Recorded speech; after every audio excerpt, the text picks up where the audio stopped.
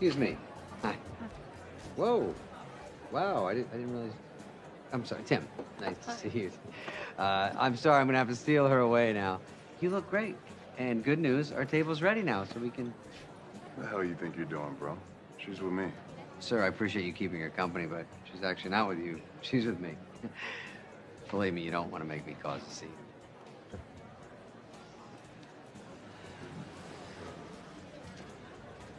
You're gonna cause a scene? I might summon one of the managers. Sure. No. I don't know what you've been smoking, but you better back off my wife. I'm gonna punch a hole in your face. You're. Timothy?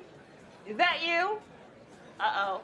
My bad. I was at the other side of the bar. Oh, I'm actually his date.